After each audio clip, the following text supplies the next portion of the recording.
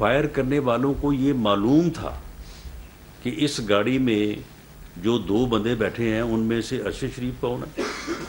वो किस सीट पे बैठा है? किस साइड पे बैठा है? गाड़ी को ड्राइव कौन कर रहा है?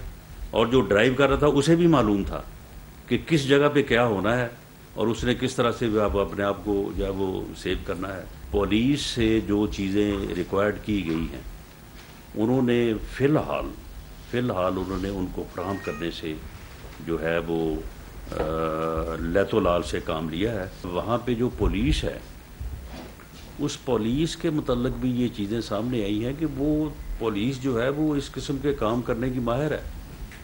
वो यानी किसी के कहने पे जो है वो पैसे वैसे लेके भी ये काम कर देती है।